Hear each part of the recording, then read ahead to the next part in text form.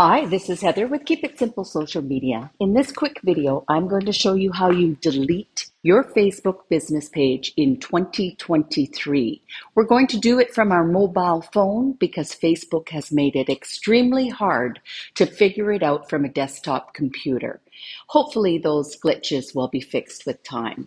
So what I want you to do is I want you to open up your Business Suite app on your smartphone that is if you have downloaded the Business Suite app from Facebook, the Meta Business Suite app. It is right here, we're going to click it. From here, you should open directly to your business page. Now, what I want you to do is look in the lower right hand corner where it says More. We're going to go ahead and click those three little lines.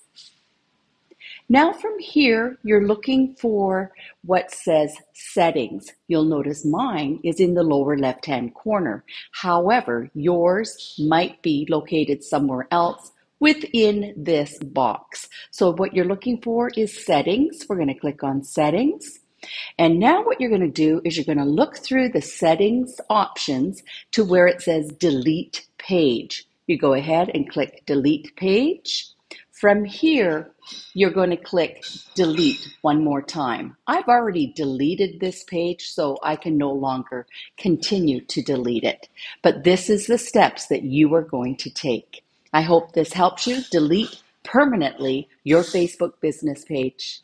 This is Heather. Remember, everyone, let's keep it simple.